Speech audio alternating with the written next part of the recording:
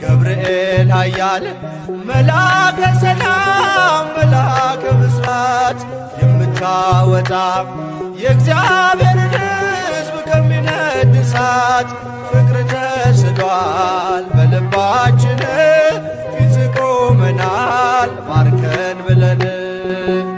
የዮሐንስ ወንጌል ምዕራፍ አንድ ቁጥር ዘጠኝ።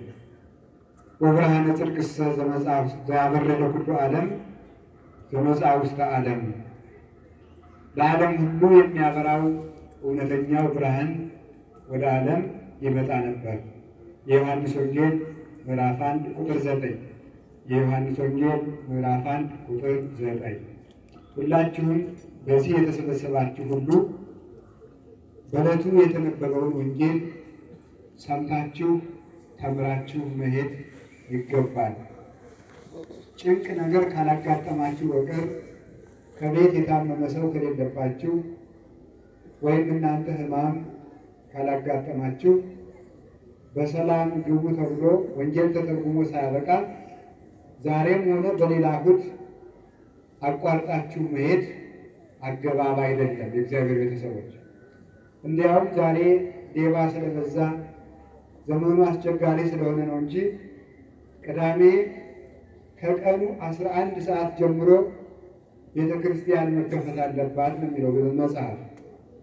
ክርስቲያን ከቅዳሜ አስራ አንድ ሰዓት ጀምሮ ማደር ያለበት ቤተ ክርስቲያን ነው። ባይሆን እንኳን ከቤቱም እንኳን ቢሆን መላ ሌሊቱን ይቻለው ዳዊት እየደገመ ቅዳሴ ማርያም ቅዳሴ ማርያም እየጸለየ ያልተቻለው ደግሞ እግዚኦ መሐረነ ክርስቶስ እና አቡነ ዘበሰማያትን እየጸለየ ሌሊቱን ሙሉ ቤቱን መብራት ሳያጠፋ እያበራ ኃጢአቱን እያሰበ የእግዚአብሔርን ቸርነት እያሰበ ማደር አለበት። ሽቱ ይዘው ሌሊት ቀደም ብለው ወደ መቃብሩ የሄዱት ሴቶች ጌታችን ኢየሱስ ክርስቶስን አግኝተው እንደተመለሱ ሰውነታቸውን በቅድስና መዓዛ አስጊጠው ሃይማኖትን ይዘው ቀደም ብለው ቤተ ክርስቲያን የሚመጡ ሰዎች ክርስቶስን አግኝተው ይመለሳሉ። በዚህ እርግጠኞች እንሆናለን። ከዚያ መጨረሻ ላይ ከዚህ ቤተ ክርስቲያን መጥተን እናስቀድሳለን። ሃይማኖታችን አሐዱ አብ ቅዱስ፣ አሐዱ ወልድ ቅዱስ፣ አሐዱ ውእቱ መንፈስ ቅዱስ ብለን እንመሰክራለን።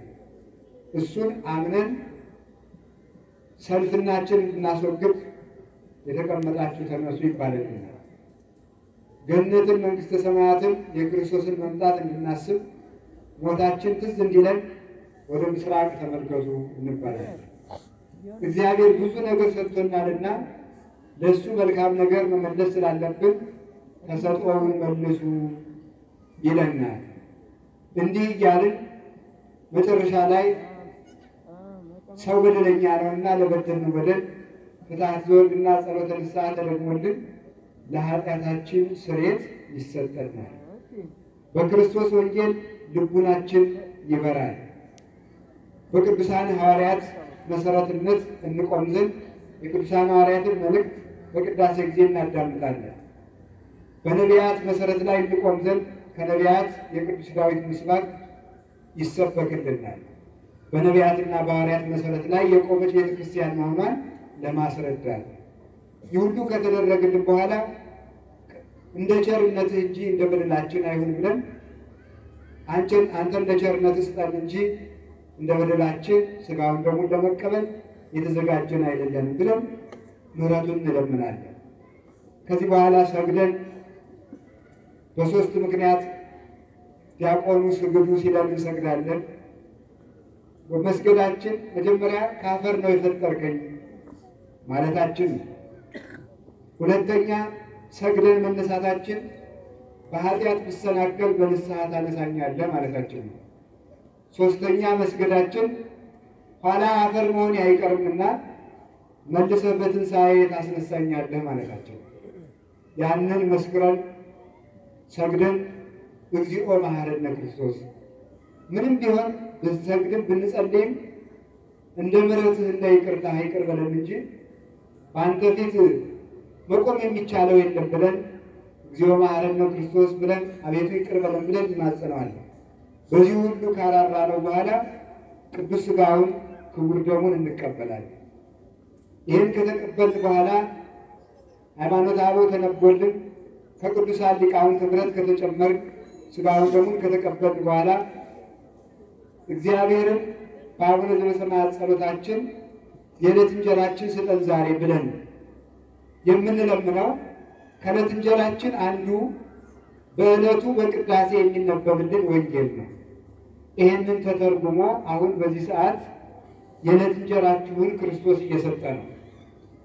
ለማስተማር ወይም ደግሞ እውቀት ለማካፈል አይደለም እዚህ የቆምኩት እኔ።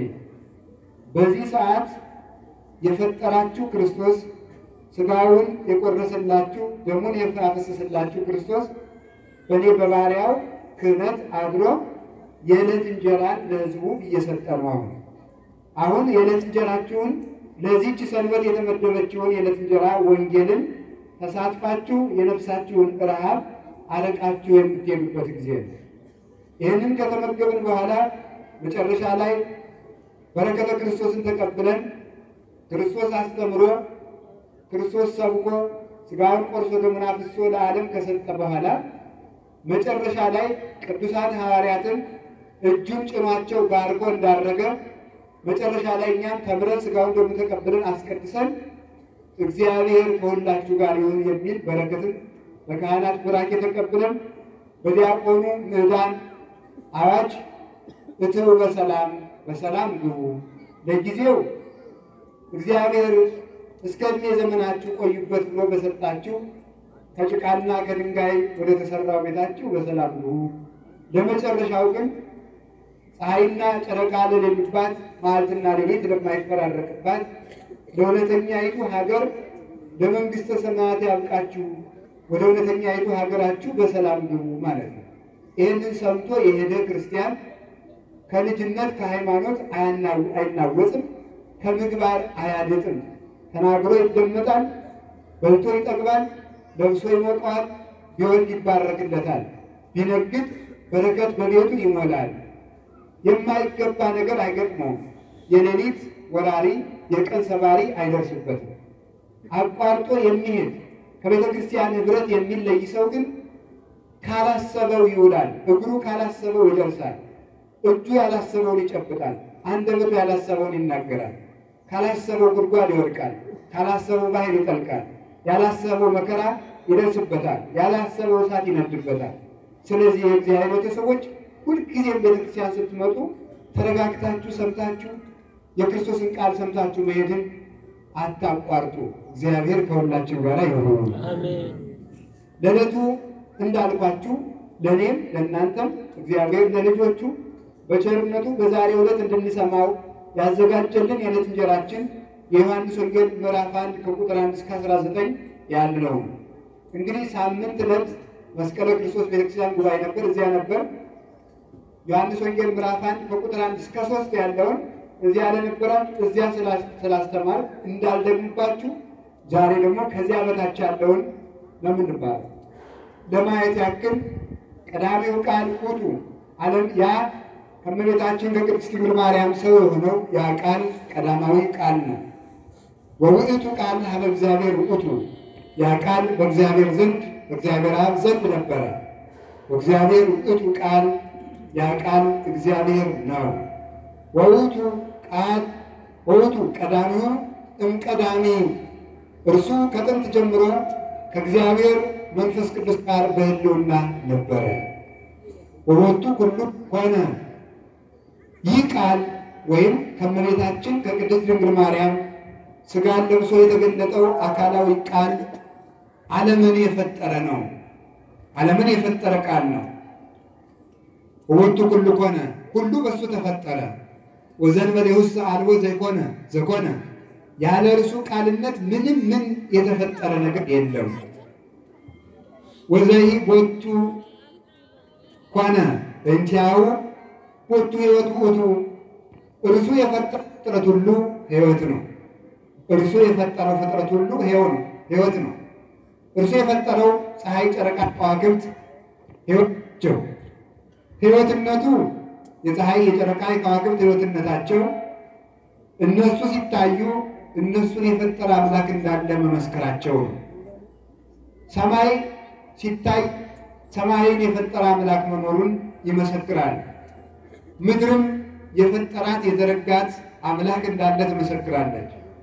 አዝሪቱ፣ አትክልቱ፣ እንስሳት፣ አራዊቱ፣ ባህር፣ ቀላያት፣ ነፋሳት እነዚህ ሁሉ አንድ ወገን ሆነው እግዚአብሔር መኖሩን ይመሰክራሉ። የፍጥረታት ዑደት በራሱ ፍጥረታት ጊዜያቸውን ጠብቀው መሄዳቸው፣ አለመለወጣቸው፣ ፀሐይ የቀን ግዛቱን የሌሊት ጨረቃ የሌሊት ግዛቱን አለማቋረጡ፣ ነፋሳት ከመንፈስ ቀላያት ከመፍሰስ ብርሃናት ከመመላለስ አለማቋረጣቸው፣ ፍቅር ሰው መዋደድ አንድነት አለማቋረጡ፣ ከአባት አካል ዘር ተከፍሎ ከእናት ማኅፀን ደም ተከፍሎ ረግቶ በአርባ ቀን አካል ዘአካልን ይዞ መፈጠሩ በዚህ ሁሉ እግዚአብሔር መኖሩ ይታወቃልና እግዚአብሔር የፈጠረው ፍጥረት ሁሉ ሕይወት ነው። ወሕይወትሰ ብርሃኑ ለእጓለ እመሕያው እግዚአብሔር የፈጠረው ፍጥረት ሁሉ ለሰው ልጅ ሕይወትን ያድላል። የፈጠረው ፍጥረት ሁሉ ብርሃን ነው። የተፈጠረው ፍጥረት ሁሉ ብርሃን ነው፣ ወይም አእምሮ ጠባይ ነው። የህሊና ብርሃን ለዓለም ሕይወት ነው እግዚአብሔር የፈጠረው ብሎ ይህንን ከመሰከረ በኋላ ቅዱስ ዮሐንስ ወደ ጥልቅ የሥላሴ የምስጢር ባሕር ገብቶ እየተናቀቀ ስለነበረ ከአቅም በላይ ወደ መመርመር ሲሄድ እግዚአብሔር እንደ ጌትነቱ የሚታወቅ ስላይደለ ወደ ጥልቅ ምስጢር እገባለሁ ሲል አንድ መልአክ መጥቶ ቅዱስ ዮሐንስ ዮሐንስ ወንጌልን የጻፈው በባሕር ዳርቻ ስለነበረ ውቅያኖስን በእንቁላል ቅርፊት እየቀዳ ያሳየዋል። መልአኩ እንቁላሉን በእንቁላል ቅርፊት እየቀዳ ውሃውን ሲያፈስ ስለምንድን ነው ይህንን ውሃ በእንቁላል ቅርፊት የምትቀዳው? አይ ይህንን ውቅያኖስ ቀድቼ ጨርሼ መሬቱን አርሼ አለስልሼ ዘር ዘርቼ አዝመራ ሸክፋለሁ ብዬ ነው። እንዴት አድርገህ ነው ይህንን ውቅያኖስ ቀርተህ አርሰህ አለስልሰህ ጨርሰህ ዘር ዘርተህ አዝመራ የምትሸክፍ ሲለው፣ አይ እኔ እንግዲያው አንተ የሥላሴን ምስጢር ቀድቼ ጨርሳለሁ ለምን ትላለህ? እኔስ ምንም ውቅያኖሱ ፍጡር ነው፣ ጊዜ ይፈጃል እንጂ ሊያልቅ ይችላል። አንተስ የማያልቀውን የሥላሴን ምስጢር እመረምራለሁ ብለህ ተነስተሃል። በዚህ ጊዜ የምስጢር ውቅያኖስ ውስጥ ሊዋኝ የነበረው ቅዱስ ዮሐንስ ወንጌላዊ አእምሮውን ወደ ምድር ዘወር አድርጎ ወሀሎ አሐዱ ብእሲ ዘተፈጥሮ እምኀበ እግዚአብሔር ዘስሙ ዮሐንስ ከእግዚአብሔር የተላከ አንድ ዮሐንስ የሚባል ሰው ነበረ ብሎ ከምስጢረ ሥላሴ የፍጥረትን ነገር ወደ መናገር ተመለሰ። መካከል ላይ የቅዱስ ዮሐንስ መጥምቅን ታሪክ አስገባበት ማለት ነው። እንግዲህ አንድ ሰው ከእግዚአብሔር የተላከ ዮሐንስ የሚባል ሰው ነበረ። ወውቱ መጻ ሰማዕተ ይኩን በእንተ ብርሃን ያም ዮሐንስ የሚባለው ሰው ዮሐንስ መጥምቁ ስለ እግዚአብሔር ስለ ብርሃን ሊመሰክር መጣ። ወውእቱሰ ይኮነ ብርሃነ ብርሃነ እርሱ ግን ራሱ ብርሃን አልነበረም። ዳይሙ ሰማዕተ ይኩን በእንተ ብርሃን ስለ ሰም ስለ ብርሃን ሊመሰክር ሊመሰክር መጣ እንጂ ወብርሃነ ጽድቅሰ ዘያበርህ ለኩሉ ዓለም ዘመጻ ውስተ ዓለም ለዓለም ሁሉ የሚያበራው እውነተኛው ብርሃን ግን ወደ ዓለም የመጣው ነው። ወእሊያሁ መጻ ውስተ እሊያሁ መጻ ወደ ወገኖቹ መጣ። ወእሊያሁ ውስተ የተወክፍዎ ወገኖቹ ግን አልተቀበሉትም። ወውስተ ዓለም ሐሎ በዓለም ውስጥ ነበረ። ወዓለምሰ ኢያእመሮ ዓለም ግን አላወቀውም ነበረ። ወደ ወገኖቹ መጣ፣ ወገኖቹ አልተቀበሉትም። ወለእለሰ ተወክፍዎ በሃይማኖት ለተቀበሉበት ላመኑትበት ግን ወሀቦሙ ስልጣነ ወልደ እግዚአብሔር ይኩኑ የእግዚአብሔር ልጆች የሆኑ ዘንድ ስልጣንን ሰጣቸው። አኮ እምስምረተ ብእሲ ወብእሲት ዘተወልዱ እኒህም ከወንድና ከሴት ፈቃድ አልተወለዱም። አላ እም እግዚአብሔር ተወልዱ ከእግዚአብሔር በልጅነት በጥምቀት ተወለዱ ተወለዱ እንጂ። ወውእቱ ቃል ሥጋ ሆነ ያም ቃል ሥጋ ሆነ። ወሀደረ ላዕሌነ በእኛም አካል አደረ ሰው ሆኖ ተገለጠ ሥጋችን ነሳ። ወርኢነ ስብሐቲሁ ከመ ስብሐተ አሐዱ ዋሕድ ለአቡሁ ለአባቱ አንድ እንደሆነ ልጅ ያለ ክብሩን እኛም አየን። ዘመኑ ጸጋ ወጽድቀ እርሱም ጸጋና ጽድቅን የተመላ ነበረ። ኦሪትሰ በሙሴ ተውበት ለነ ኦሪት በሙሴ ተሰጥታን ነበር። ጸጋሰ ወጽድቅ በኢየሱስ ክርስቶስ ኮነ ለነ እውነተኛው ጸጋ ግን በጌታችን በኢየሱስ ክርስቶስ ተሰጠን። እስመ እምተረፈ ዚአሁ ንሕነ ኩልነ ነሣኢነ ጸጋ በዲበ ጸጋ እኛ ሁላችን ከእርሱ በጸጋ ላይ ጸጋን ተቀበልን። ለእግዚአብሔር ሳል ወዘሬው ግሙራ እግዚአብሔርን ግን አንድም ሰው ያየው ሰው የለም። አላ ወልድ ዘአለው ውስተ ጽናብሁ ውእቱ ነገረነ በአባቱ እቅፍ ያለ አንድ ልጅ ክርስቶስ ስለ አባቱ ስለ ራሱ ስለ መንፈስ ቅዱስ እርሱ አስተማረን እንጂ ዘወአምን በወልድ በሕይወት ዘላለም በወልድ ያመነ የዘላለም ሕይወት አለው ተብሎ ተነበበልን። ስለ ቃሉ የእግዚአብሔር ስሙ የተመሰገነ ይሁን። እንዲህ ከሆነ ትርጉማን ብቻ እነግራችኋለሁ። እውነተኛው ብርሃን ስለሚለው ዮሐንስ ብርሃን አልነበረም። እንግዲህ አንድ ቃል ላስታውሳችሁ። ጌታችን መድኃኒታችን ኢየሱስ ክርስቶስ ስለ ቅዱስ ዮሐንስ መጥምቅ ሲናገር በዮሐንስ ወንጌል ላይ ምን ይላል? እርሱ ግን የሚያበራ መብራት ነበር ይላል። ዮሐንስ ወንጌል ምዕራፍ ሶስት ላይ እርሱ የሚያበራ መብራት ነበረ። አሁን ልብ ብላችሁ ስሙ። ዮሐንስ መጥምቅን ክርስቶስ የሚያበራ ብርሃን ነበር ካለው ወንጌላዊ ዮሐንስ ደግሞ ዮሐንስ መጥምቅን እርሱ ብርሃን አልነበረም ይላል። ልብ ብላችሁ ስሙ። ክርስቶስ ዮሐንስን ብርሃን ነው አለው።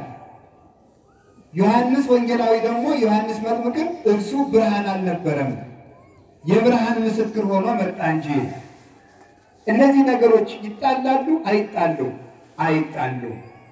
መጻሕፍት ሰው ከመጻሕፍት ጋር በተጣላ ጊዜ መጻሕፍት የተጣሉ መስለው ይታያሉ እንጂ መጻሕፍት የተጣሉበት ጊዜ የለም። ከአንድ ምንጭ መራራ ውሃና ጣፋጭ ውሃ እንደማይቀዳ ከእግዚአብሔር አንደበት ከእግዚአብሔር አፍ የተቀዱ ቅዱሳት መጻሕፍትም እርስ በርስ የሚጣላ የሚቃረን ነገር የላቸውም። መጽሐፍ ቅዱስ የተጣላ መስሎ ከታያችሁ እናንተ ከመጻሕፍት ጋር መጣላታችሁን የሚያሳይ ነው እንጂ መጻሕፍት ተጣልተው አያውቁም። ታርቀው የሚታዩት የመጻሕፍት ሽማግሌዎች መምህራን ናቸው። ሁላችሁ እንደምታውቁት ዮሐንስ ወንጌል ማቴዎስ ወንጌል ምዕራፍ አምስት ላይ ጌታችን ኢየሱስ ክርስቶስ ብፁዓን ገባርያነ ሰላም የሚያስታርቁ ሰዎች ንዑዳን ክቡራን ናቸው ይላል። የሚያስታርቁ ሰዎች የተባረኩ ናቸው። አንድ ሰውን ከሰው የሚያስታርቁ ሰዎች፣ ሰውን ከሰው እርስ በርሱ። ሁለተኛ ሰውን ከእግዚአብሔር ጋር የሚያስታርቁ ሰዎች። ካህናት ከሆኑ አስተምረው መክረው ክፉን ምግባር አስትተው ደግ ምግባር አሰርተው ኃጢአቱን በስርየት ፈተው ሰውን ከእግዚአብሔር ጋር የሚያስታርቁ። ምዕመናን ከሆኑ ደግሞ ባልንጀሮቻቸውን በምክር ሕፃናትን በጥበብ በማሳደግ የሚሰርቀውን የሚቀጥፈውን ደግሞ ገንዘብ አበድረው እንካ ሰርቀ ከእግዚአብሔር ጋር ከምትጣላ እኔ ይህችን ገንዘብ ልስጥህና በዚች ሰርተህ ከአምላክ ጋር ታረቅ ብለው የሚያስታርቁ። ሌላው መጨረሻው ምንድን ነው? የሚያስታርቁ ሰዎች ንዑዳን ክቡራን ናቸው። መጻሕፍትን በትርጓሜ የሚያስታርቁ ክቡራን ናቸው ይላል ቄርሎስ አምደ ሃይማኖት ዘእስክንድርያ ማቴዎስ ወንጌልን ሲተረጎም መጻሕፍትን የሚያስታርቁ ሊቃውንት ንዑዳን ክቡራን ናቸው። መጻሕፍት ተጣልተው ሳይሆን ለሕዝቡ የተጣሉ የመሰሉ መጻሕፍትን አስታርቀው አስማምተው የሚያሳዩ ሊቃውንት ንዑዳን ክቡራን ናቸው። ስለዚህ ቅዱሳን አባቶቻችን ብርሃን ይባላሉ። ይሄ የሚታወቅ ዘንድ ዮሐንስን ክርስቶስ ብርሃን ይሉታል። መልሶ ደግሞ አስራ ሁለቱን ሐዋርያትን ደቀ መዛሙርቶችን በማቴዎስ ወንጌል ምዕራፍ አምስት ከቁጥር 14 ላይ እንደተናገረው አንተሙ ብርሃኑ ለዓለም እናንተ የዓለም ብርሃን ናችሁ ብሏቸዋል። እንግዲህ ዮሐንስንም ብርሃን ብሏል፣ ሐዋርያትንም ብርሃን ብሏል። ደግሞ ብርሃን አይደለም ይላል። ምን ማለት ነው ብዬ ስነግራችሁ አሁን ፀሐይም ብርሃን ትባላለች፣ ጨረቃም ብርሃን ትባላለች፣ ከዋክብትም ብርሃን ይባላሉ፣ እሳትም ብርሃን ይባላል። ታዲያ እንዲህ ከሆነ ብርሃን አይደሉም ማለት ነው? አዎ። ቅዱሳን ሐዋርያትስ ብርሃን አይደሉም? ናቸው። እነዚህም ናቸው። አሁን ልብ ብላችሁ ስሙ።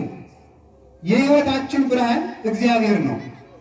የሕይወታችን ብርሃን እግዚአብሔር ከሆነ ፀሐይን ብርሃን በማለቴ የእግዚአብሔርን ብርሃን የብርሃን ስሙን ወይም የባሕሪ ስሙን ለፀሐይ ሰጠዋት ማለት ነው? አይደለም። ጨረቃን ብርሃን አልኳት፣ እውነተኛው ብርሃን ግን እግዚአብሔር ነው። ጨረቃን ብርሃን ስላልኳት የእግዚአብሔርን የባሕሪ ስሙን ብርሃን የሚባለውን ስሙን ለጨረቃ ሰጠዋት ነው? አይደለም። ከዋክብት እሳት ብርሃን ይባላሉ። እውነተኛው ብርሃን ግን እግዚአብሔር ነው። እንዲያ ከሆነ እሳት አብሮልኝ፣ ባትሪ አብሮልኝ፣ መብራት አብሮልኝ፣ እሳት አንድዱልኝ ስንል መብራቱን አብራልኝ ስንል የእግዚአብሔርን ብርሃንነት እየካድን ነውን? አይደለም። ከቤተ ክርስቲያን የወጡ ሰዎች የማይረዱት ከዚህ የተነሳ ነው። ፀሐይን ብርሃን ስንል የእግዚአብሔርን ብርሃንነት ለፀሐይ እየሰጠናት እንዳልሆነ ሁሉ እግዚአብሔር መድኃኒት ቅዱሳንም መድኃኒት ሲባሉ የእግዚአብሔርን መድኃኒትነት ለቅዱሳን እየሰጠናቸው አይደለም። ከብት የሚጠብቅ ሰው እረኛ ይባላል፣ እግዚአብሔርም እረኛ ይባላል። መዝሙር 22 ላይ እግዚአብሔር እረኛዬ ነው እንዳለ እግዚአብሔር እረኛዬ ነው። በግን የሚጠብቅ ሰውም እረኛ እንለዋለን። አሁን የእግዚአብሔርን ጠባቂነት ለበግ ጠባቂው ስልጣን እየሰጠን ነውን? ወይስ በግ ጠባቂው በጎችን ስለሚጠብቃቸው እነዚያን በጎች እግዚአብሔር አይጠብቃቸውም ማለት ነውን? አይደለም። እንጃ እንዲያ ከሆነ ምን ማለት ነው? ይህን ነው መረዳት የሚያስፈልገን። እግዚአብሔር ብርሃን ነው፣ ቅዱሳንም ብርሃን ናቸው። እንደየጸጋ እግዚአብሔር መድኃኒት ነው፣ ቅዱሳን መድኃኒት ናቸው። እግዚአብሔር ሕይወት ነው፣ የተፈጠረው ፍጥረትም በራሱ ሕይወትነት አለው። እንደየድርሻው የእግዚአብሔር ሌላ ነው። እንዲያ ከሆነ እግዚአብሔር አምላካችን ብርሃንን የፈጠረው እንደምታውቁት በዕለተ እሑድ ነው። ብርሃን የተፈጠረ እግዚአብሔር አስቀድሞ ፍጥረታት ካልነበሩበት ወደ ነበሩበት ሲያመጣቸው ሰባት ፍጥረታትን በዕለተ እሑድ ሰርቷል። እሑድ ቀን እሑድ ማለትም አንድ ማለት ነው። አንድ አንድ የተባለበት ምክንያት ዕለትም አንድ ተብሎ የተጀመረ እሑድ ነው። ፍጥረትም አንድ ተብሎ የተጀመረ እሑድ ነው። እሑድ እግዚአብሔር ፍጥረትን ሲጀምር ምን አድርጎ ነው የጀመረው? አራቱን ባህሪያት ነፋስን፣ ውሃን፣ መሬትን፣ እሳትን አራቱን ከዚያ ምን ፈጠረ? ሰባቱን ሰማያት ከዚህ በላይ ያሉትን ሰባቱ ሰማያት ከዚህ ሰማይ በላይ ያሉትን ከዚያ ምን ፈጠረ? መላእክትን ፈጠረ። ሰባት ፍጥረት ይመጣላቸዋል። ሰባተኛው ጨለማ ነው። ነፋስ፣ ውሃ፣ መሬት፣ እሳት አራት፣ ጨለማ አምስት፣ ሰባት ሰማያት አንድ ተብሎ ተቆጥረው ስድስት፣ መላእክት ሰባት፣ ሰባት ፍጥረት እሑድ ፈጠረ እግዚአብሔር። ይህን ከፈጠረ በኋላ እግዚአብሔር አንድ ነገር እንደቀረ አየ። ምን አለ? ለይኩን ብርሃን ብርሃን ይሁን ብሎ ተናገረ። እግዚአብሔር ንግግር የጀመረበት ፍጥረት ምን ይባላል? ብርሃን። ሰባቱን ፍጥረታት እግዚአብሔር በዝምታ ነው የፈጠራቸው። መናገር የጀመረው ብርሃንን ሲፈጠር ነው። ልብ ብላችሁ እንደምታስታውሉት እግዚአብሔር ከብርሃን አስቀድሞ የፈጠረው ጨለማን ነው። ብርሃንን የፈጠረው ኋላ ነው። ብርሃንን ከጨለማ በኋላ የፈጠረበት ምክንያት የራሱ የሆነ ምክንያት አለ። እግዚአብሔር ሰባቱን በዝምታ ፈጥሮ ስምንተኛው ፍጥረት ላይ መናገር የጀመረበት ምክንያትም ይሄውም ምስጢር አለ። ኦሪት ዘፍጥረት ምዕራፍ አንድ ላይ ታሪክ ታነባላችሁ። እግዚአብሔር አስቀድሞ ከጨለማ በኋላ ብርሃንን የፈጠረው ለምንድን ነው? ጨለማ መከራ ነው፣ ብርሃን ደስታ ነው። ስለዚህ አስቀድሞ ጨለማውን ያመጣበት ምክንያት ያለ መከራ ደስታ አይገኝም። ያለ መከራ አክሊል የለም። ያለ ትዕግስት ማሸነፍ ድል ማድረግ የለም። ድል ካላደረጉ ደግሞ አክሊል የለም። የትኛውም ሕይወት ፈተና አለው። ሁላችሁም እንደምታውቁት ትዳር ስትጀምሩ፣ ክህነትም ስትጀምሩ፣ ምንኩስናም ስትጀምሩ፣ ንግድም ስትጀምሩ ፈተና ይበዛባቸዋል። አብሶ ደግሞ ወደ እግዚአብሔር ቤት ሳትመጡ ጸሎት ሳትጸልዩ ሳታስቀድሱ ንስሐ አባት ሳይኖራችሁ ቤተ ክርስቲያን ሳታዘወትሩ ጥሩ ጥሩ ነገር ይገጥማችሁ የነበረውን ቤተ ክርስቲያን በመምጣታችሁ ምክንያት ይልቁንም ደግሞ መከራ ይጨመርባችኋል። በዚህ ጊዜ ሕሊናችንን ዲያብሎስ ይፈትነዋል። ምን ብሎ ነው የሚፈትነው? እንዴ ይልቁንም ሳልጸልይ በሰላም እኖር የነበርኩት ሰውዬ ከዚያ በመምጣት ጸሎት በማስቀደሴ እንዴት መከራ ይጨመርብኛል ይለናል። ሰይጣንም የመከራውን ጎርፍ ራሱ እየቀሰቀሰ ያመጣና ቀጥሎ ምን ይላል? እግዚአብሔር ካለ ታዲያ የት ሄዶ ነው? ጸሎትህ ታዲያ ምን ጠቀመ? ወይም ምን ጠቀመሽ? ምን ተጠቀማችሁ? ምን ታተርፋለህ? ይሄ ሁሉ መከራ ሲደርስብህ እግዚአብሔር የት ሄዷል ብሎ ይፈታተናል። መልሱ ከጨለማ በፊት ብርሃን የለም። መጀመሪያ የተፈጠረው ጨለማ ነው። ጨለማ አለ፣ ቀጥሎ አለ ምን አለ? ብርሃን ተፈጠረ። ረሃብ ባይኖር የምግብን ጥቅም የሚያውቅ የለም። በሽታ ባይኖር የጤናን ጥቅም የሚያውቅ የለም። ብርድ ባይኖር የልብስን ጥቅም የሚያውቅ የለም። ብቸኝነት ባይኖር የዝምድናን ጥቅም የሚያውቅ ሰው የለም። ድህነት ባይኖር የሀብትን ጥቅም የሚያውቀው ሰው የለም። ጨለማ ባይኖር የብርሃን ጥቅም አይታወቅም ነበረ። ስለዚህ እግዚአብሔር ተመልከቱ፣ የሚመር ነገር ባይኖር ማርን ማን ያደንቀው ነበር? ያደነቅነው እኮ ከሱ ተቃራኒ የማይጣፍጡ ነገሮች ነው። እግዚአብሔርም ጨለማን መጀመሪያ ፈጥሮ ብርሃንን ያመጣበት ምክንያት መጀመሪያ መከራ ሰንከልካላ ነገር ይገጥማችኋል። መሰናክሉ ስታልፉት ግን እንደ ብርሃን ፍንትው ያለ ደስ የሚያሰኝ ሕይወትን እሰጣችኋለሁ ማለት ተፈትኖ ከመጀመሪያው ጀምሮ ስትሄዱ ያለ መከራ ክብር ያገኘ ሰው የለም። ሌሎች የእምነት ድርጅቶች ውሸት መሆናቸውን ከምናረጋግጣቸው ከምናረጋግጥባቸው ነገሮች አንዱ ይሄ ነው። ከመጀመሪያው ጀምሮ ያለ መከራ አክሊል የተቀዳጀ ሰው አይተን አናውቅም።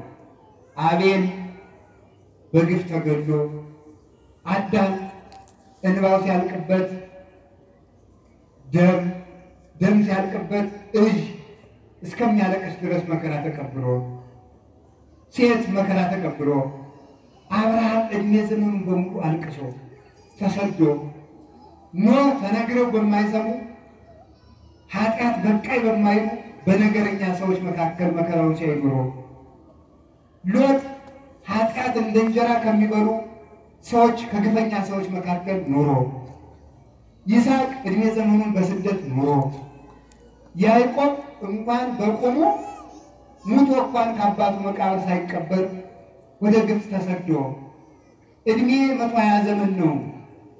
ወሀልቃ በእንባዜ ወኩያተ ኮናኒ መቶ ሀያ ዓመት ነበሩኝ፣ መቶ ሀያ ዓመት ዘመኖቼ ሁሉ የመከራ ወራት ሆኑብኝ እያለ ሙሴ በስደት አሮን በስደት ኢያሱ በስደት ሳሙኤል በመከራ ሌሎችም ጌዲዮን ዮፍታሔ ሁሎችም በመከራ በተቃራኒ በስቃይ ኤልያስ እሱን የመሰለ ንጹሕ ድንግል በኤልዛቤል በምትባል ጨካኝ ንግሥት መሃል መከራውን እየተሰደደ ዋሻ ለዋሻ እየተንከራተተ ኤልሳዕ መምህሩን መልሶ መስሎ እንዲሁ ሶምሶን በፍልስጤማውያን እጅ ተይዞ አይኑ ወጥቶ በጠላቶች እጅ ታስሮ አይኑ ከወጣ በኋላ የፍልስጤማውያን ሰዎች ተሰብስበው በእነሱ መካከል በገመድ ታስረ ደረቅ ባቄላ ፍጭ እየተባለ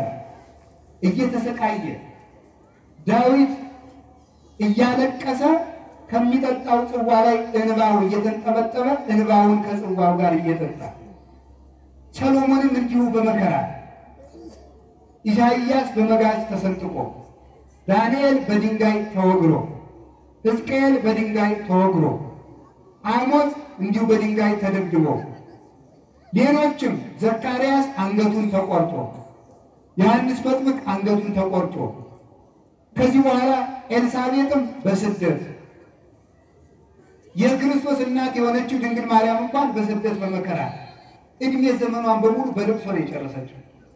እንዲያውም እንኳን ቀድሞ ጌታችን ከሞተ በኋላ የፈጸመችው እድሜዋ በሙሉ በልቅሶ ያለቀ ነበር ይላል። እንዲሁም የቤተክርስቲያን አባቶች እንደሚናገሩ ልጇ መከራ በተቀበላባቸው ቦታዎች ሁሉ እየሄደች ክርስቶስ ከተሰቀለ እዚህ ላይ ልጄን ገረፉት፣ እዚህ ላይ ልጄን ቸነከሩት፣ ከዚህ ቦታ ላይ እርጥብ መስቀል ተሸክሞ ወድቆ ነበር እያለች አስራ አምስት ዓመት እያለቀሰች ነው የኖረችው። ራሱ ክርስቶስ ፈጣሪ ሰማያት በምድርም ተሰቅሎ ተቸንክሮ መከራ ተቀብሎ ከሐዋርያት ሳ ዮሐንስ ወንጌላዊ በፈላ በርሜል ተቀቅሎ ቅዱስ ጴጥሮስ ተዘቅዝቆ አንገቱን ተሰቅሎ ወደታች አድርጎ ቅዱስ ጳውሎስ አንገቱን ተቆርጦ ቶማስ ቆዳውን ተገፎ በቆዳ ውስጥ አሸዋ ተሞልቶ ተሸክሞ ማን ነው ያለ መከራ አክሊል ያገኘ? ወደ ሰማዕታት ብትሄዱት ቅዱስ ጊዮርጊስ በመንኮራኩር ተፈጭቶ፣ ቅዱስ መርቆሬዎስ በብረት ምጣድ ተጠብሶ፣ ቅዱስ ፋሲለደስ እንደ ፈረስ ተለጉሞ፣ ቅዱስ ቂርቆስና ቅዱስ ቅድስት ኢየሉጣ ቅዱስ ቂርቆስን ገና የሶስት ዓመቱን ልጅ ሁለት ብረት በሁለት አይኑ ከሳት የጋመ ብረት ሁለት ሁለት ብረት በሁለቱ አፍንጫው ሁለት ብረት በሁለቱ ጆሮዎቹ አንድ ብረት በአፉ እየተጨመረበት እንዲህ ብለው ነው አክሊልን የተቀዳጀው። ከጻድቃን ሳ ብትሄዱ አቡነ ተክለ ሃይማኖት ከአርባ ክንድ ገደል እየተወረወሩ አቡነ አረጋዊ እንዲሁ በደብረ ዳሞ መከራቸውን እየተንከራተቱ እነ ቅዱስ ያሬድ እኛ አንድ ቀን አብረን መምጣት በማንችልበት በረዶ ውስጥ ኖረው። እነ ቅድስት ወለተ ጴጥሮስ ዘመናቸውን በሙሉ እየተንከራተቱ እነ ቅድስት ክርስቶስ ሰምራ አካሏ እንደ ዳቦ እየተቆረሰ እንደ ቅጠል እየረገፈ ሲሆን ዘወር ብላ እንኳን አታየው ነበር። አስራ ሁለት ዓመት በጣና ባህር ውስጥ ስትጠልኝ ስጋዋ አልቆ በአጥንቶቿ መካከል አሳ እስከምትመላለስበት ድረስ እነዚህ ሁሉ ቅዱሳን በመከራ የፈጸሙ ናቸው። እዚያ በኋላ ግን የመንግሥተ ሰማያት ብርሃን፣ የቃል ኪዳን ብርሃን፣ የእረፍት ብርሃን፣ የክብር ብርሃን፣ የምስጋና ብርሃን፣ የአክሊል ብርሃን፣ የሀገር ብርሃን፣ የቅዳሴ ብርሃን፣ የጣዕም ብርሃን፣ የመዓዛ ብርሃን ይሰጣቸዋል ማለት ነው። አጋንንትን ድል ይነሳሉ። ከገቡ መውጣት ካገኙ ማጣት ወደሌለበት ሀገር ይሄዳሉ። ሁከት በሌለበት እረፍት ውስጥ ይሰማራሉ። በእረፍት ውሃ ውስጥ ይኖራሉ። በድል ነሽነት የብርሃን ዘንባባ ይዘው እየዘመሩ ከበጉ ከመድኃኔዓለም ከኢየሱስ ክርስቶስ ጋር የድል ነሺዎችን መዝሙር እየዘመሩ ይኖራሉ። እኛም ድል ነስተን ከእሱ ጋር እንድንኖር አምላክ ቅዱሳን ይርዳል። እግዚአብሔር ጨለማውን አስቀድሞ የፈጠረበት ምክንያት ይሄ ነው። ሁላችሁም በወጣችሁበት በገባችሁበት ሁሉ ጨለማ አለ፣ ጨለማ አለ። ያንን ጨለማ አትጥሉት፣ ወደ ብርሃን መሻገሪያችሁ ስለሆነ ፍጥረታት ወደ ብርሃን የተሻገሩት በጨለማው አልፈው፣ ጨለማውን ከታገሳችሁት ወደ ብርሃን ያደርሳችኋል። ድህነት ጨለማ ነው፣ ታገሱት። በእሱ ምክንያት ሃይማኖታችሁን አትካዱ፣ ወደ ብርሃን ትደርሳላችሁ። ጤናም ጨለማ ነው። ከጤንነት ብርሃን እስከምትደርሱ ድረስ ታገሱት። እግዚአብሔር ቢዘገይም ደግሞ አይቀርም። የባልንጀራ ጠባይም እኮ ጨለማ ነው። እሱንም ቢሆን ታገሱት። ነገ ሞት ሊለየን ስለሆነ ጠባዩ ከፋ ጠባዩዋ ከፋ ብላችሁ አትለያዩ። ሁሉም ጨለማ በክርስቶስ ብርሃን ይገፈፋል። አገር ድህነትም ቢሆን ጦርነትም ቢሆን በክርስቶስ ብርሃን ይገፈፋል። እስካሁንም ቢሆን ጨለማ ሳይደርስ ቀርቶ አያውቅም። ብርሃን ሳይወጣ ቀርቶም ደግሞ አያውቅም። ስለዚህ እውነተኛው ብርሃን ኢየሱስ ክርስቶስ ነው። እንዲህ ከሆነ ተመልከቱ፣ ወደ ምስጢሩ ልውሰዳችሁ። አስቀድሞ ጨለማን አመጣ፣ ኦሪት ናት። ኦሪት ናት። ኋላ ብርሃንን አመጣ፣ ወንጌል ነው። ጨለማ የተባለው ዲያብሎስ ነው። ብርሃን የተባለ ኢየሱስ ክርስቶስ ነው። እግዚአብሔር ኢየሱስ ክርስቶስ ብርሃን ይሁን ብሎ መናገር እንደጀመረ ለሰባቱ ፍጥረታት ሳይናገር ስምንተኛው ላይ እንደተናገረ ልክ እንደዚሁም ሁሉ ቀድሞ ብርሃን ሲፈጠር የተናገረበት ምክንያት ሰሚ ሳይኖር አትናገሩ ብሎ እስኪ በሉ መነ ሰሚ ሳይኖር እናት በሉ እንጂ። ሰሚ ሳይኖር? አሁን ሰሚ የለም ዛሬ። ሰሚ ስለሌለ አትናገሩ። በየኢንተርኔቱ በየፌስቡክ አትለፍልፉ። ዝም በሉ ዝም ብላችሁ ለሚሰማው ለማን መናገር ለእግዚአብሔር መናገር አሁን አይሰማም። የቤታችን ሰውም አይሰማም የሌላው ቤትም አይሰማም በቤተ ክህነትም የሚሰማ እየጠፋ ነው በቤተ መንግስትም የሚሰማ እየጠፋ ነው። የሚሰማ ሰው የለም። የሚሰማ በሌለበት መናገር እብድ የሚባለው ተናጋሪው ሳይሆን ሰሚው ሰሚው ሳይሆን ተናጋሪው እግዚአብሔር ሰሚ በሌለበት አትናገሩ። እንኳንስ በውጭ ይቅርና ከቤታችሁ እንኳን ሰሚ ሳይኖር አትናገሩ። ሰሚ ሳይኖር ምን ማለት ይመስላችኋል? ቤት ውስጥ ልጆች በማይሰሙበት ሰዓት አይነገርም። ሚስት በማሰማበት ሰዓት አይነገርም። ባል በማይሰማበት ሰዓት አይነገርም። እያንዳንዱ ሰው የማይሰማበት ጊዜ አለው። ይገርማቸዋል። እለ በል እለ አለና እለ በል እለ እለ እለ አላልኩም። እለ በል አሁን እሺ፣ ረ በል ረ እኔ ረ ስል ሕፃኑ ምንድን ነው የሚለው? ምንድን ነው የሚለው? እለ በል እንጂ አሁን ይሄን እረ በል እንጂ ተብሎ በቁርቁም ይመታል አይመታም? በሉ እንጂ ለምንም አይመታም። ገና ነው ገና ነው። ሰውን የግድ እንደኔ ካልሆንክ አይባልም። ጊዜ አለው። ሚስቶቻችሁን በጸሎት የምትበልጡ ትኖራላችሁ። በዚህ ምክንያት መወቃቀስ አይገባም። ሰው ቀስ እያለን የሚያገድ የጸሎት ልምድ ያላችሁ እህቶቻችን ትኖራላችሁ። ባሌ አይጸልይም፣ ባሌ አይቆርብም፣ ባሌ ቤተክርስቲያን አይሄድም ተብሎ ትዳር አይበተንም። ሰው ቀስ እያለ ነው የሚያደርገው። በአንድ ጊዜ አፍክን ፍታ አይባልም። ልጅ እያንዳንዱ ሰው የራሱ የጨለማ ሕይወት አለ። ያንን መታገስ ነው። አንዳንድ ጊዜ የልብላችሁ ስሙማ፣ ሌሊቱ አስራ አምስት ሰዓት ይሆናል። አንዳንድ ጊዜ ደግሞ ቀኑ አስራ አምስት ሰዓት ይሆናል። ይገርማችኋል። አንዳንድ ጊዜ አስራ አምስት ሰዓት ብርሃን ይሆናል። አንዳንድ ጊዜ ደግሞ አስራ አምስት ሰዓት ጨለማ ይሆናል። አንድ ሰሞን ሚስት ብርሃን ትሆናለች፣ አንድ ሰሞን ደግሞ ጨለማ ትሆናለች። አንድ ሰሞን ባል ብርሃን ይሆናል።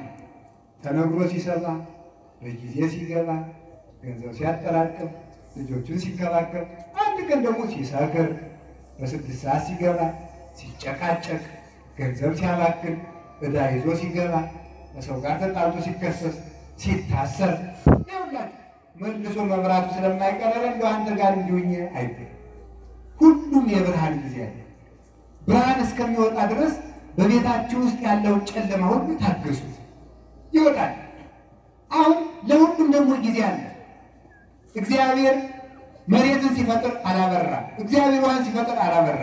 እግዚአብሔር ነፋስን ሲፈጥር አላበራ። እግዚአብሔር ይሁሉ ምን ሲፈጥር ነው ያበራ? ሰባቱን ፈጥሮ ሲጨርስ ብርሃን ፈጠረ።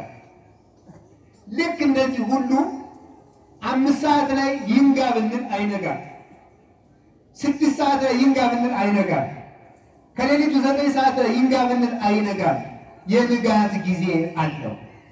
እስከሚነጋት ድረስ ያላችሁበት ቦታ ላይ ጠብቁ። የያዛችሁትን ጽድቅ አትጣሉት። አክሊላችሁ እንዳይወሰድባችሁ መከራችሁንም ትታችሁት አትሽሹ። ወደ መከራ ውስጥ ታግሳችሁ ስትገቡ አክሊላችሁ ወደ እናንተ ይቀርባል። ከመከራው ባህር ግን አፈንግጣችሁ ስትወጡ አክሊላችሁን ከእናንተ ትነጠቃለች።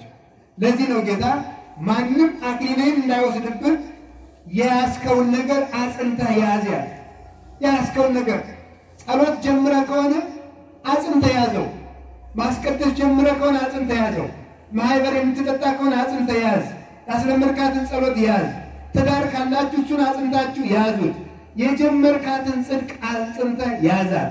እዚያው ጨለማ ይሆናል፣ ግን መንጋቱ አይቀርም፣ ጎህ መቅደዱ አይቀርም። እግዚአብሔር አምላካችን ትዕግስቱን ያድለን። ወገኖቼ እንኳን የእኛ ጨለማ እድሜያችን እኮ ቢበዛ ሰባ ነው ወይም ሰማንያ ነው፣ ከዚያ በላይ ድካም ነው። እንኳን የሰባ ዓመት እንኳን የአስር ዓመት የሀያ ዓመት ጨለማ የአምስት ሺህ ዓመት ጨለማም ተገፏል። ክርስቶስ ጨለማችን ሁሉ ይገፍልናል። እርግጠኛ ሁኜ ነው የምነግራችሁ። በሃይማኖታችሁ ተስፋ አትቁረጡበት። ለሀገራችሁም ይህንን አስቡ፣ ለቤተ ክርስቲያንም ይህንን አስቡ። እግዚአብሔር ለኢትዮጵያም ቀን ያወጣላታል። እግዚአብሔር ኢትዮጵያ ውስጥ የእጁን ብርሃን እንዲያስገባ የሚያደርግ የቃል ኪዳን በር አለ።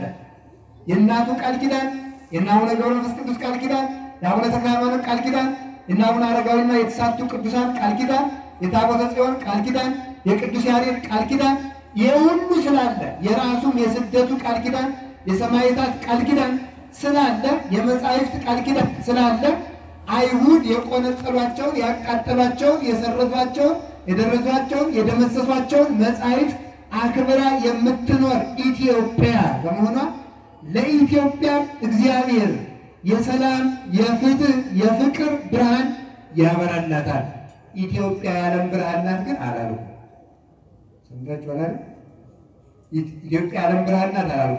የኢትዮጵያ ብርሃን እግዚአብሔር ነው ነው ያልኩት። እስቲ በሉላችሁ የኢትዮጵያ ብርሃን ማን ነው?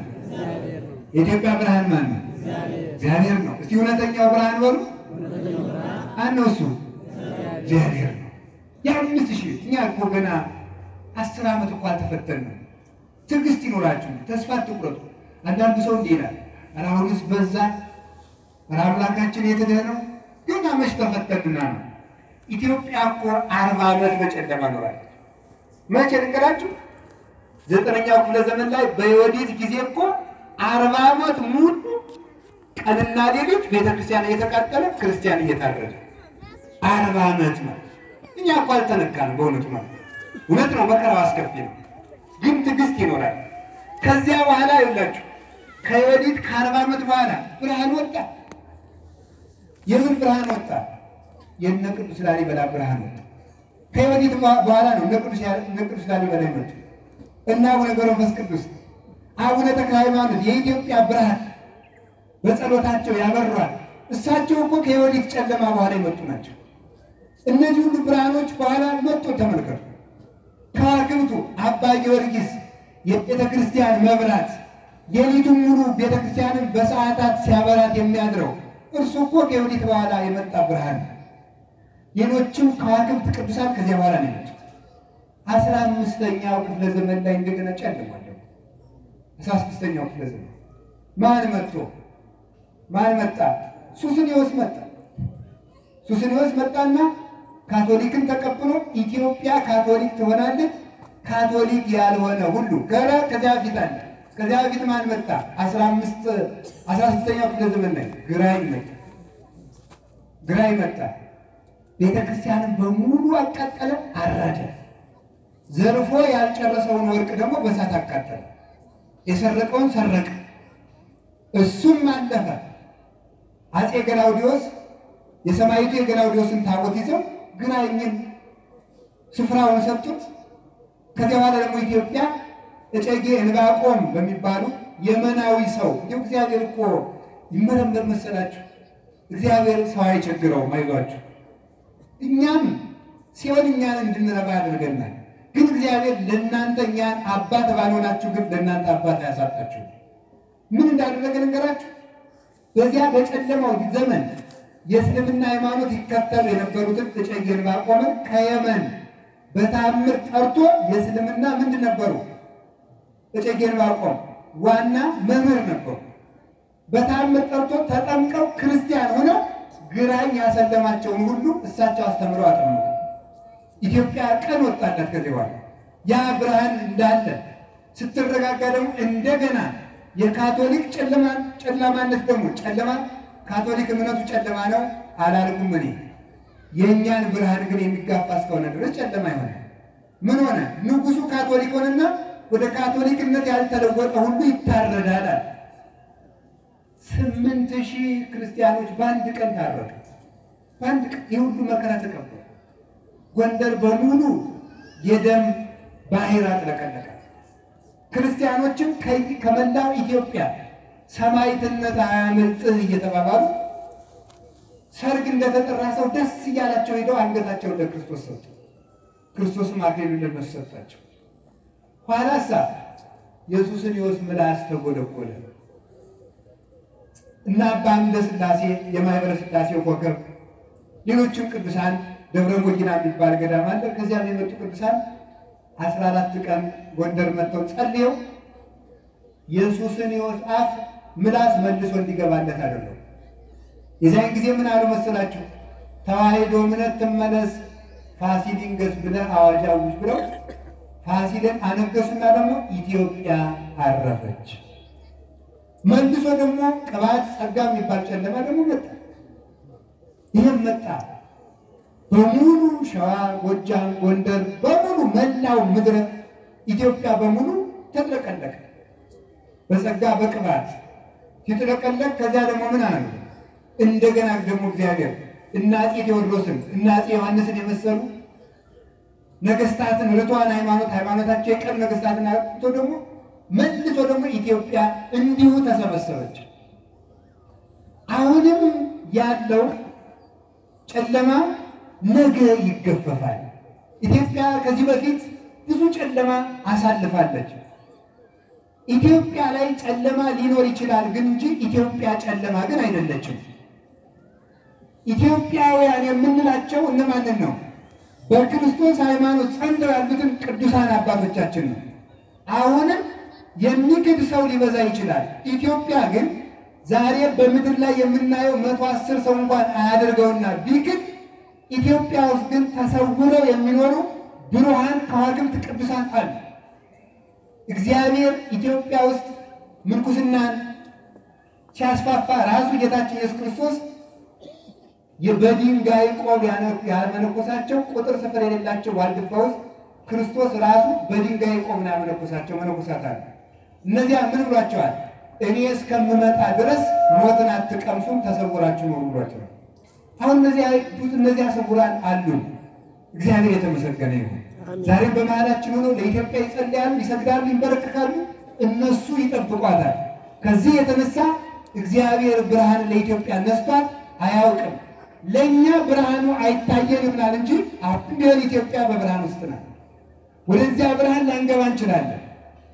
አንድ ባይታዊ ወደ ምዕራብ ዙሮ ይሰግዳል። ይገርማቸዋል። እንግዲህ ስትጸልዩ ወደ ምስራቅ ዙራችሁ ዙራችሁ ጸልዩ ነው የሚባለው። ወደ ምዕራብ ዙሮ ሲሰግድ አንዱ መጣና ራባ እባክዎት ወደ ምስራቅ ይዙሩ ሲላቸው ምን አልመሰረት እኔ ያንተን ፀሐይ አላውቅልህም፣ የእኔ ፀሐይ ክርስቶስ ነው። ሰው አያችሁ ለቅድስና ሲበቃ ከፀሐይ ብርሃን ይወጣል። የሚኖረው በማን ብርሃንነት ይሆናል? በክርስቶስ ብርሃን።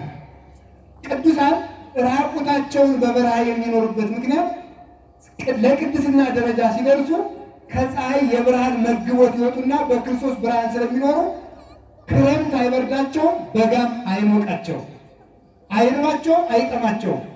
በእግዚአብሔር የብርሃን ማዕበል ውስጥ እየዋኙ ነው የሚኖሩት።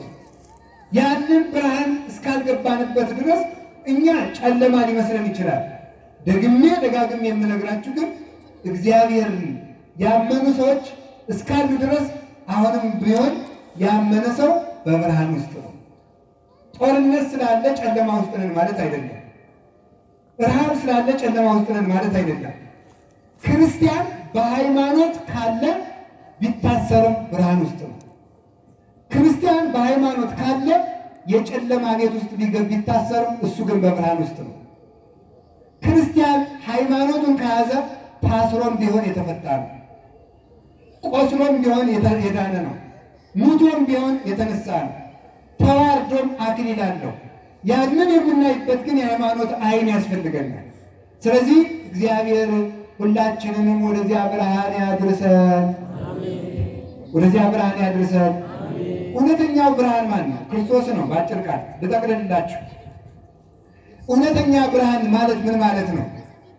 እውነተኛ ብርሃን አንደኛ ከነዚህ ከምናያቸው ብርሃናት ሲለዩት ነው። እነዚህ ብርሃን አንደኛ ሌሊትና ቀን አለባቸው። ለምሳሌ ፀሐይ ሌሊት የለችም። የጨረቃ ብርሃን ደግሞ ለቀን አንመገበውም። የከዋክብት ብርሃን ለቀን አንፈልገውም። የፀሐይን ብርሃን ለሌሊት አንፈልገውም። ክርስቶስ ግን ሌሊትና ቀን ያበራል። ልብ ብላችሁ ስሙትማ ከተረዳችሁኝ፣ ሌሊትና ቀን ያበራል። ያበራል። በሉ እንጂ ቀን የሚጠብቀን ማን በሉ እንጂ ማታ እግዚአብሔር የሚተኛ ቢሆን እንዴት ልንሆን ነው? ይህ እኮ ነው ሌሊቱ እውነተኛው ብርሃን፣ ማታ የማይመሽበት ብርሃን ክርስቶስ ነው። ማታም ያበራል፣ ቀንም ያበራል። ምን ማለት ነው? ማታም ይመግባል፣ ቀንም ይመግባል። ማታም ይጠብቃል፣ ቀንም ይጠብቃል። ማታም ደስታን ይሰጣል፣ ቀንም ደስታን ይሰጣል። ሁልጊዜ አብሮን የሚኖር አቃቢ ነዘይ ማሰብ የማይለወጥ ጠባቂያችን በምስሉላችሁ ቀን እኮ ሙሉ ትጥቅ ታጥቆ የዋለው ወታደር ማታ እንቅልፍ ሊለውጠው ይችላል። እናት ቀን ትኩ እንደዚህ ባህር ዛፍ ቀጥ ብሎ የዋለው ማታ ለውጦት ገበሬ ሲጸልይ ምን ይላል መሰላችሁ? ወደኩል የቀን የሌት ግንድ ይላል። ስለዚህ ግንድ ነው ሰው ሲተኛ ግንድ ነው። አይምሮውን ስቶ ይተኛል። ስለዚህ ሰውን እንቅልፍ ይለውጠዋል። ሰውን ረሃብ ይለውጠዋል። ጠንካራ ሰውነት ያለው ጠባቂ ቢኖረን አራት ቀን ምግብ ቢያጣ እሱም ተጠባቂ ይሆናል። ጠንካራ ጠባቂ ቢኖረን እጅጉን የታመመለት እሱም እንደኛ ተጠባቂ ይሆናል። ክርስቶስ ግን የማይለወጥ ጠባቂ ምሽት የሌለበት ብርሃን ያሰኘው እሱ ነው። ስለዚህ እነዚህን ብርሃናት ሌሊትና ቀን ሲፈራረቃቸው ሌሊትና ቀን አብሮን የሚሆን አንድ ነገር ልንገራችሁ። ጓደኛ ቢኖራችሁ እኮ ጭንቀታችሁን አይዞ አይዞሽ አይዟችሁ ብሎ ሻይ ጠጣ እስኪ እስኪንቀሳቀስበት ብሎ ሲመሽ በላይ ይዞ ደህና ደር ብሎ እግዚአብሔር ደህና ደሩ ብሎ አይሄድም። አብሮን ያስራል፣ አብሮን ይውላል።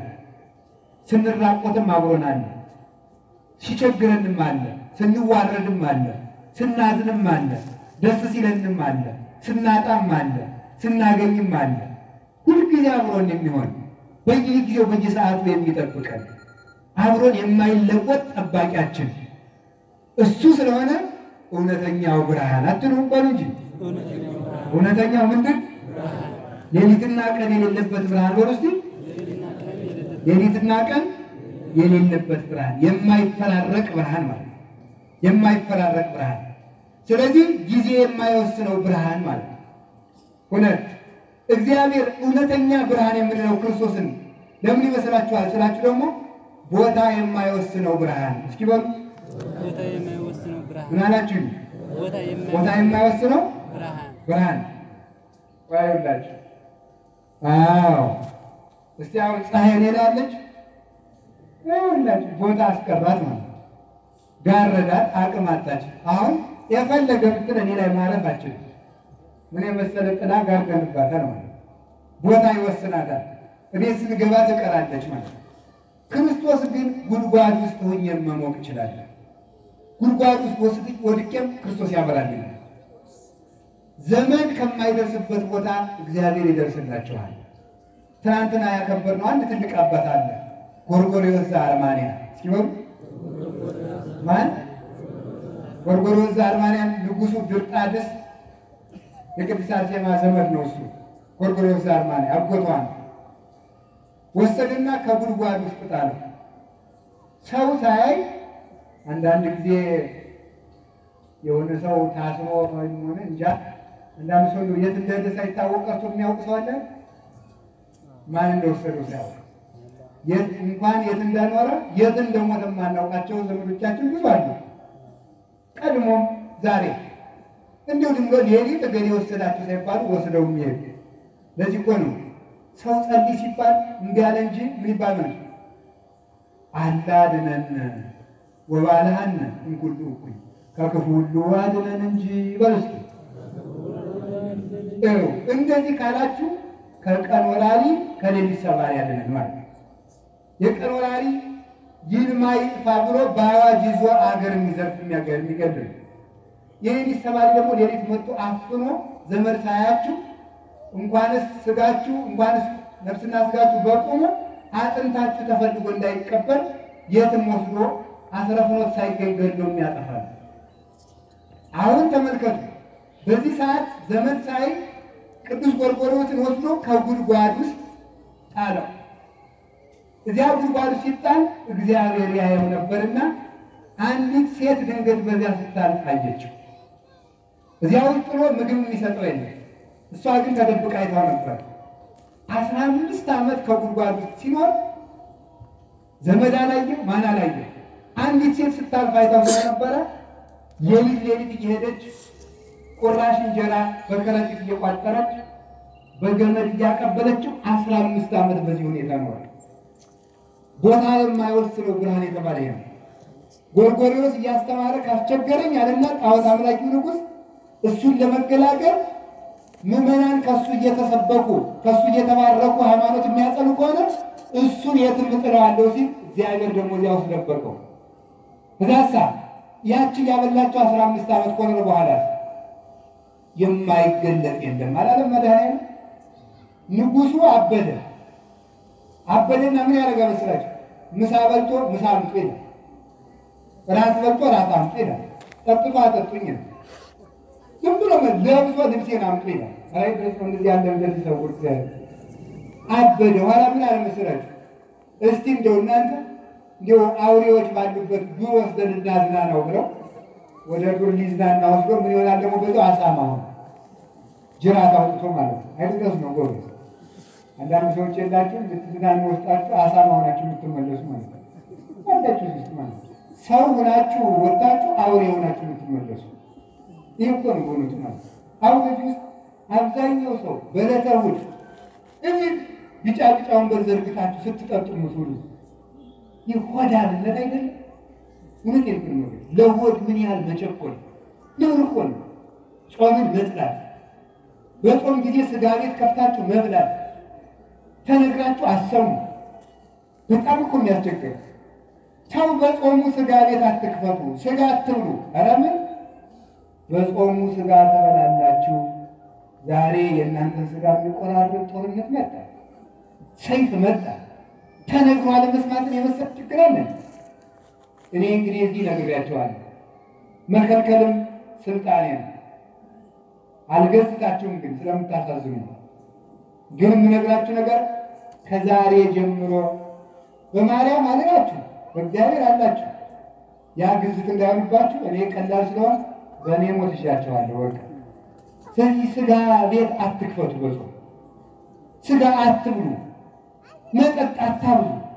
ከዛሬ ጀምሮ ስካር መቆም አለበት። እውነቴን እኮ ነው የምነግራችሁ ማለት ነው። ስንት ድሃ ጾሙን እያደረ እናንተ ትጠጣላችሁ። እስቲ እንጀራና ውሃ ብቻ ጠጥታችሁ ይልቃችሁ በእውነቱ እና ስካሩ ይቁም፣ ስራ ፈትነቱ ይቁም። አልገባችሁም እንጂ ቤተ ክርስቲያን ላይ የተቃጣውን መከራ እናንተ አታውቁ። እርስ በርስ ተደጋገፉበት። በቀን የምትጠጡትን አምስት ጠርሙስ አስር ጠርሙስ አጠራቅሙና የዕለት እንጀራ አጥተው ሃይማኖታቸውን ለሚክዱ ወንድሞቻቸው እህቶቻቸው እስቲ ስጧቸው። እስቲ ለክርስቲያኑ ወንድማቸው አበድሩትና ነግዶ ይለፍለት። ይሄንን ነገር መቼ ነው የምትረዱት? ቤተ ክርስቲያን እየጠፋች አይደለምን? ነገ መቆሚያ እስከምታጡ ነው የሚገባችሁ። እሳቱ እናንተ ላይ ሲነድ ነው የሚገባችሁ።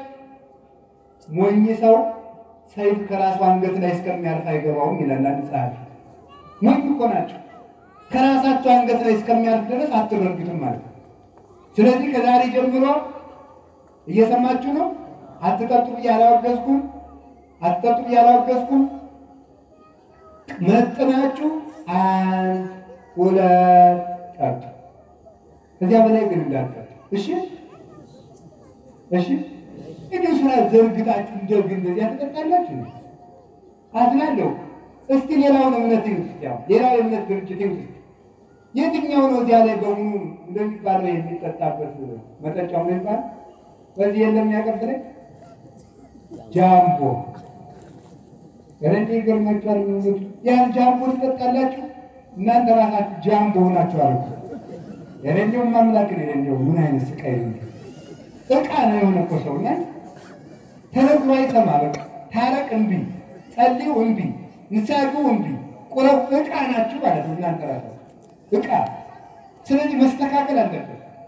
በቤተ ክርስቲያን ስካር የተፈቀደ ይመስል ስካር ለክርስቲያን የተፈቀደ ይመስል እነሆንን የሰጠን። ስለዚህ ወገኖች አምላከ ቅዱሳን ያስተካክላል። ይህ ሰውዬ ዙሮ ሲመጣ የሆነ ኋላ እህቱ ኧረ ፈጣሪ ይቅር በለው እያለ ስታለቅስ እግዚአብሔር ራእይ ያሳየ አሳያል። ምን አለ መሰላችሁ? ውስጥ የተጣለው ጎርጎሬዎስ ካልመጣ ወንድምሽ አይድንም እውነተኛው ብርሃን የተባለ ዘመን አልፎ ከአስራ አምስት ዓመት ጉድጓድ የጉድጓድ ቆይታ በኋላ ከዛ ምን አለው ንጉሱ አበደና አይምሮውን ሲያጣ የጣልከው ጎርጎሬዎስ ካልተነሳ አትድንም አለ። ወጣ።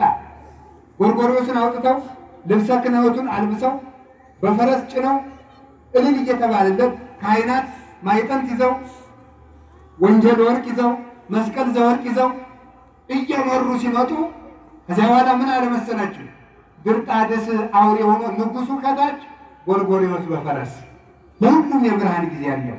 ለእናንተም ብርሃን ያወጣላችሁ። ስለዚህ ቦታ የማይወስነው ብርሃን ክርስቶስ ሂዶ ከጉድጓድ ውስጥ ፈልጎ አብርቶ ወዳጁ ጎርጎርዮስን ነፃ አወጣው። ሁላችሁንም ካላችሁበት የጨለማ ጉድጓድ ያወጣችሁ መድኃኒዓለም አወጣና መጣው። ንጉሱ ንጉሱ ምን አለው? በጌታዬ በኢየሱስ ክርስቶስ ታምናለህ አለው። አውሬ ሆኗል እኮ አንገቱን ነቅነቅ ሲያረግ አውሬነቱን ፈወሰው። እንዳይኮራ ግን እግሩ አካባቢ ሰኮናውን ያሳማ እዚያ በላይ ያለውን የሰው አደረገው። ሁላችሁንም ከአውሬነታችን ይፈውሰል። ስለዚህ ክርስቶስ ቦታ የማይወስነው ብርሃን። የትም ቦታ ብትሄዱ አትፍሩ፣ አትደንግጡ። ቆላ ሀገር ስራ ብትቀጠሩ ተሰዳችሁ ብትሄዱ ቆላውም የእግዚአብሔር ነው። ውጭ ሀገር ብትሄዱ ውጩም የእግዚአብሔር ነው። ቤተ ክርስቲያን በሌለበት ሀገር ስራ ቢገጥማችሁ መያም የእግዚአብሔር ነው። አይዟችሁ፣ እግዚአብሔር የትም ቦታ ብርሃን ነው። ለእግዚአብሔር ምድር ዓለምን ሁሉም ላይ ነብር ውስጤታ በዓለም ያለው ሁሉ የእግዚአብሔር ገንዘብ ነው። ይህ ሀገር የሰይጣን ነው፣ ይህ ሀገር የእግዚአብሔር ነው አይባልም። በየትም ቦታ እግዚአብሔር አለ። የክርስቶስ ብርሃን የትም ያበራል። እናንተ የትም የክርስቶስ ከሆናችሁ ክርስቶስ የትም ያበራል። ሌሊትም ቀንም ያበራል፣ ሌሊትም ቀንም ያበራል። በየቦታው ሁሉ የሚያበራ ብርሃን ነው ኢየሱስ ክርስቶስ። ስለዚህ ይባላል? የማይጠፋ ብርሃን፣ የማይወሰን ብርሃን። ሁላችሁ እውነተኛው ብርሃን በሉ በሉ እንጂ ምን ብርሃን አላችሁ? እውነተኛው ብርሃን ማን ነው? አቤት እግዚአብሔር ነው። ሌላው ብርሃን ይጠፋል። እነዚህ ብርሃናት ሁሉ በዓለም መጨረሻ ይጠፋሉ። ፀሐይም ትጨልማለች፣ ጨረቃም ትጨልማለች፣ ከዋክብትም ይረግፋሉ። ክርስቶስ ግን የዘላለም ብርሃን ነው። ወቦቱ ብርሃን ዘይጠፍ የማይጠፋ ብርሃን አለው አደላ ዲያቆኑ ቅድም የማይጠፋ ብርሃን አለው ምን ማለት ነው? ዘላለማዊ ሕይወት ነው። ሞት የማይለውጠው ብርሃን አሁን ፀሐይ ኢትዮጵያ ያለች አሜሪካ የለችም። አሁን ጨለማ ወይም ሌላ ቦታ የለችም። ክርስቶስ ግን አሜሪካም አለ እዚህም ቦታ የማይወስን ሰው ለተወሰነ ጊዜ ብርሃን ይሰጣል፣ የሚጨልምበት ጊዜ አለ። ክርስቶስ ግን በሞት የማይለወጥ ብርሃን በሉ ኧረ ምን የማይለወጥ በሞት የማይለወጥ ብዙ የበሉ ሰዎች ተለውጠዋል። እንኳን የመብሉ ሽታ የእነሱ መዓዛም ተለውጧል በመቃብር ብዙ የለበሱ ሰዎች ተለውጠዋል። ብዙ የነገሱ ሰዎች ተለውጠዋል። ክርስቶስ ግን የማይለወጥ ብርሃን፣ የማይጠፋ ብርሃን፣ ሞት የሌለበት ብርሃን፣ ሕማም የሌለበት መድኃኒት፣ ሞት የሌለበት ሕይወት፣ ድህነት የሌለበት ባለጸጋ፣ እርቃን የሌለበት ልብስ ማን ነው? እርሱ የማይሻር ንጉሥ ማን? እርሱ ክርስቶስ ክርስቶስ የማይጠፋ ብርሃናችን ነው፣ ሕይወታችን ነው፣ ትንሣያችን ነው። እመኑት፣ ስሙን ጥሩት። ከመለስሙ ለእግዚእነ ኢየሱስ ክርስቶስ ይስግድ ኩሉ ብርቅ ዘውስተ ሰማይ ወዘውስተ ምድር ወዘታሕት ያለ ምድር። በሰማይ ያለ በምድር ያለ ከምድር በታች ያለ ፍጥረት ሁሉ ለኢየሱስ ክርስቶስ ስም ሊሰግድ ይገባል። እውነት የነገራችሁ ምዕመናን፣ አውሬ ቢገጥማችሁ፣ አጋንንት ቢገጥማችሁ፣ ዘንዶ ቢገጥማችሁ፣ ውሃ ቢሞላባችሁ፣ መኪና ቢሰበርባችሁ፣ መርከብ ቢሰነጠቅባችሁ፣ ከአውሮፕላን ብትወድቁ፣ ገመድ ቢበጠስባችሁ ክርስቶስ ጥሩ ጥሩ። እስቲ ክርስቶስ በሉ። ይሄ ስም ብርሃን ይሆናቸዋል። የኢየሱስ ክርስቶስን ስም እንደ መጥራት ያለ ብርሃን የለም በዚህ ምድር ላይ። ኢየሱስ ክርስቶስ ሁላችሁም ሲጨንቃችሁ እንዲበሉ እግዚኦ አምላኬ ኢየሱስ ክርስቶስ ወይም እንዲበሉ በአማርኛ ለእናንተ አቅም የሚሆን ጌታዬ ኢየሱስ ክርስቶስ ወይም ማረኝ በሉላችሁ። ድገሙት። ጌታዬ ኢየሱስ ክርስቶስ ማረኝ። ጨምሩ። ሌላ ጸሎት ለመጸለይ አቅም ቃታችሁ ምንድን ነው የምትሏት? ጌታዬ ኢየሱስ ክርስቶስ አሁን ስንደነግጥ ትልቅ ጸሎት ለመጸለይ አቅም እናጣለን። ልባችን ይሸበራል፣ ትጥቃችን ይፈታል፣ አንደበታችን ይታሰራል። የዚህን ጊዜ ምን እንበል? በሉ በአንድ ድምፅ ሁላችሁ ጨምሩ፣ ድምፅ ጨምሩ፣ በጨምሩ። ጌታዬ ኢየሱስ ክርስቶስ ሆይ በሉ፣ ማረኝ እንደዚህ ስትሉ ምንም አይነት መከራ ይቆምናል። ምንም አይነት መከራ ሴቶችም ምን ሲይዛችሁ እንዲያበሉ ጌታዬ ኢየሱስ ክርስቶስ ሆይ ማረኝ። ቀጥሎ ደግሞ ስለ ድንግል ማርያም ብለህ ማረኝ በሉ እንጂ ለድንግል ማርያም ብለህ ማረኝ በሉ። ይሄ ስም ብርሃን ነው። አካሉ ብርሃን ነው። ስሙ ብርሃን ነው። ስጋው ብርሃን ነው። ደሙ ብርሃን ነው። የእሱ አካሉ ተዋሕዶ ብርሃን ነው። ማኖቱ ብርሃን ነው። ወንጌሉ ብርሃን ነው። ቤተ ክርስቲያኑ ብሪት ናት። እናቱ ብርሃን ናት፣ ብሪት ናት። ነቢያቱ የእሱ ነቢያት ብርሃን ናቸው። የእሱ ሐዋርያት ብርሃን ናቸው። የእሱ ቃል ብርሃን ነው። የእሱ መላእክት ብርሃን ናቸው። የእሱ ካህናት ብርሃን ናቸው። የእሱ ዲያቆናት ብርሃን ናቸው። የእሱ መነኮሳት ብርሃን ናቸው። የእሱ ምዕመናንም ብርሃን ናቸው። የብርሃን ልጆች ያደረገን እግዚአብሔር የተመሰገነ ይሁን። ሁላችሁም የማን ልጆች ናችሁ? አንድ ጊዜ የብርሃን ልጆች በሉ። የማን ልጆች ናችሁ? የብርሃን ልጅ ምንድን ነው? አንድ ነገር ጠይቃችሁ። የሰው ልጅ ምንድን ነው? በሉ ሰው በሉ እንጂ የዛፍ ልጅ፣ የአውሬ ልጅ፣ የበግ ልጅ፣ የከብት ልጅ፣ የፍየል ልጅ፣ የብርሃን የብርሃን ልጅ ሁላችን ፈጣሪያችን ክርስቶስ ብርሃን ስለሆነ እኛ የማን ልጆች ነን? በዚህ ደስ ሊላችሁ ይገባል። እውነቴን የምነግራችሁ። ሁላችንም የብርሃን ልጆች ነን። ይሄ ደስ ሊላችሁ ይገባል። እናት አባቶቻችን በሞት ይለወጣሉ። ክርስቶስ ግን የማይጠፋ ብርሃን ነው። አንድ ባይታዊ በበረሃ እያለ አንድ ሰው እንዲ ወንድ ሂዶ እንዲህ አለ፣ አንተ አባትህ እኮ ሞተ አለ። ከኋላዬ ወግድ ስለምን ተሰልኛለህ? የኔ አባት አይሞትም የኔ አባት ምን አይልም አለ። ማን ማለቱ ነው? ክርስቶስ ነው። የማይጠፋው ብርሃን ኢየሱስ ክርስቶስ ለሁላችንም ያብራል። ይበቃልና ማታ ብንማር ይሻላል። ወስብሐት ለእግዚአብሔር። ለሁላችሁም ብርሃኑን ያድላችሁ።